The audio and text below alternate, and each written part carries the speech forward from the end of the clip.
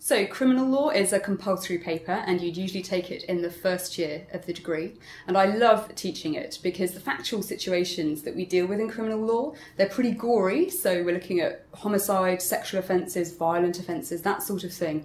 But because the facts are immediately understandable by everybody, that means we can get on pretty quickly into some interesting critical evaluation of the law. And through the law, thought about human relations as well. So, taking some examples from the law of sexual offences, a really important question there is what do we mean by consent, or more importantly, perhaps, lack of consent? For the offence of rape to be committed, we need a complainant who was not consenting to the sexual intercourse. So, what do we do in a case where the victim says, or the alleged victim says, that she only consented because she was drunk and had she been sober, she wouldn't have consented. What do we do with that as a matter of law? Should that mean that